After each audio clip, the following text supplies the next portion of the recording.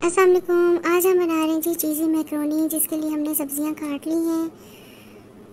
प्याज भी, बंद गोभी भी, चीज़ भी हमने ले ली है, मैदा भी ले लिया है, और चिली फ्लेक्स, काली मिर्च, और नमक, और साथ दूध का एक गिलास।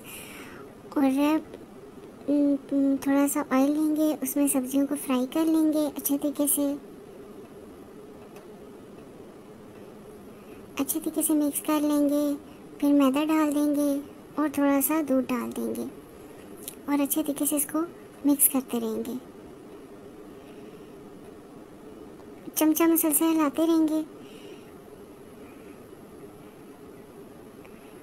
और फिर अब हमने इसमें जो है ना मसाले डाल देने हैं, फिर चीज़ डाल देनी है।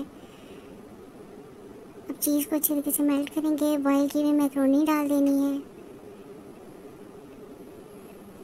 ये देखें कितने मज़ेदार सी मैक्रोनियाँ तैयार हो रही हैं।